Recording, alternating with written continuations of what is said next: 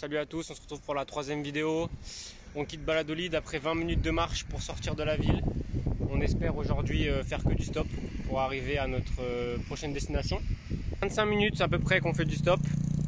Euh, Il y a deux routes principales qui emmènent à Mérida, mais une qui passe par Chichen. Du coup, on a mis Noémie là-bas toute seule. On va voir si cette stratégie va marcher.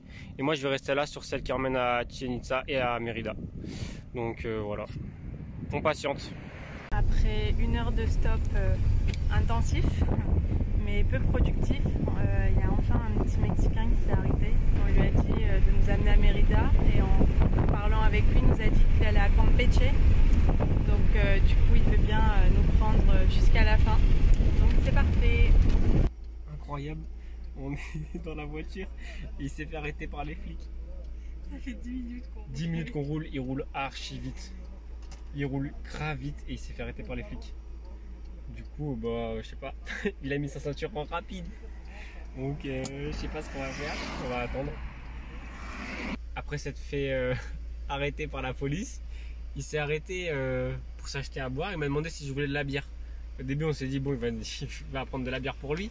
Au final, il nous a ramené deux canettes de coca. C'est trop bon. en plus, il nous amène à notre destination. C'est parfait. Muchas gracias. Ok, vamos. Bon, on échange les conducteurs.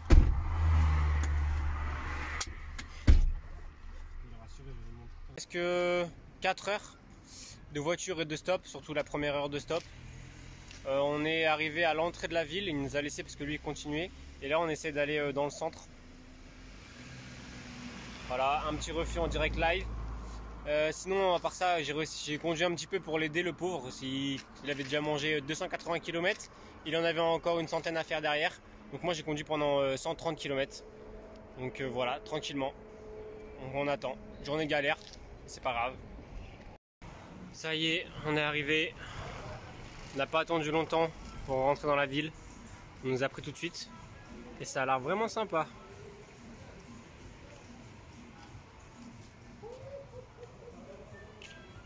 Première euh, nuit et journée à Campeche. On, a pris les vélos. Il y avait des vélos euh, à l'auberge de jeunesse. Donc on est en train de visiter la ville euh, en vélo. Du coup c'est hyper agréable. Bon là on vient de se taper une montée phénoménale. Bien évidemment, cette demoiselle ne peut s'empêcher de venir dans les centres commerciaux. Voilà. Du coup, on, va, on visite ça. Merci Noémie. Un mot Noémie? Elle adore, super.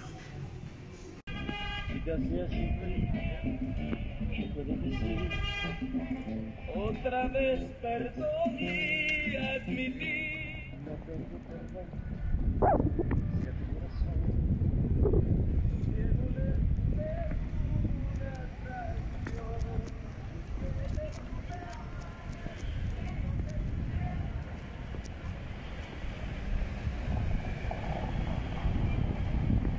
On se retrouve aujourd'hui pour euh, visiter une petite euh, réserve. Voilà, donc apparemment on peut s'y baigner parce qu'il fait tellement chaud ici qu'on avait envie de trouver un point d'eau. Hop, petit point d'eau comme ça là.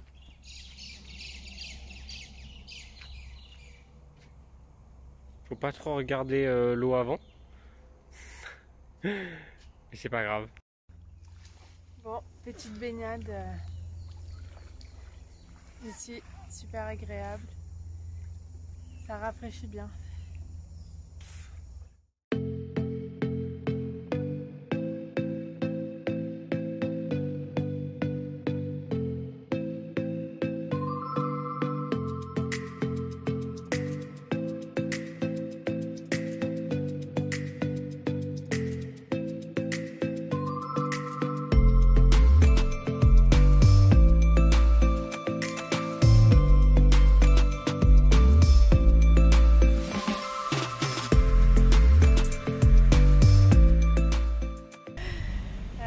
Dernier jour ici. Euh, ça fait trois jours qu'on est là. Euh, on n'a pas fait grand chose, grand chose. Euh, on s'est surtout reposé. Hier, on a été dans une petite réserve Regardez-le, lui. Il s'est caché. Il me dit on va en exploration. Moi, à la base, j'étais venue me baigner. hein. Il y a tellement de moustiques.